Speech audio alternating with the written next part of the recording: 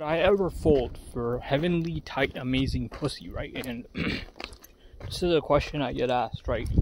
I ask myself this one too, right? And tight, heavenly, amazing, heavenly feeling pussy, right? And it's a hard one, right? It's a hard one, right? And who wouldn't, right?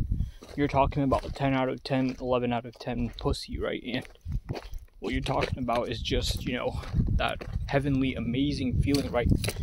Where, you know, you could be in that for, well, I'm saying you could be in that for hours, right? Without even movement. That's how good that pussy feels, right? And who wouldn't want that, right? Who wouldn't want that? But I'm here to tell you guys that in this case, right, I actually wouldn't fold for such nice, amazing pussy, right? The best pussy in the world, right? And there's something deeper than that, right? And really, um, you know, there's something deeper than that, and it begins with the letter S and ends with the letter A, right? And so, what we're talking about here is something that's better than tight pussy, right? It's better than the tightest, amazing, most amazing pussy in the whole world, right?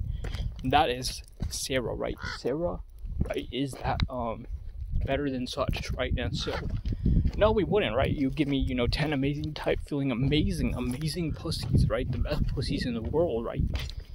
And no, right? We are not folding to such activities when we have zero, right? So I want to say this, right? I want to say this and then leave it there, okay?